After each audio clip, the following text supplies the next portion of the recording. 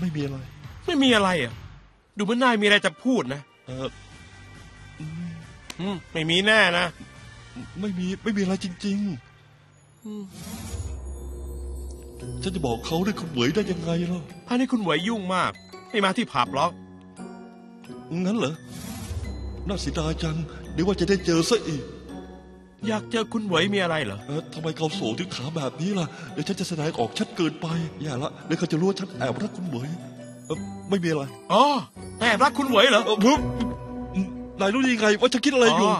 ฉันประสบอุบัติเหตุ หัวใจหยุดเต้นพักหนึ่งจากนั้นก็อ่านใจได้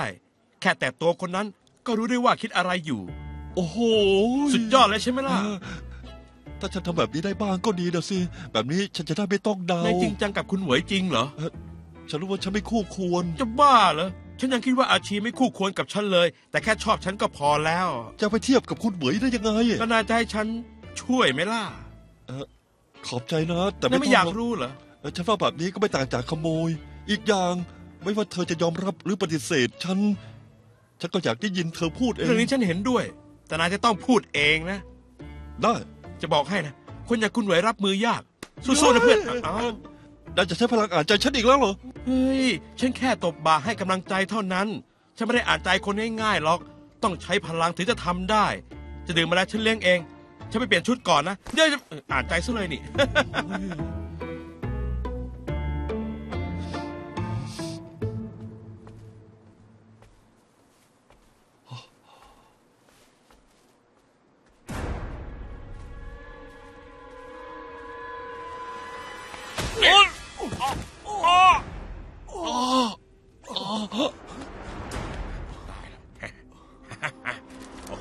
เพียบเลย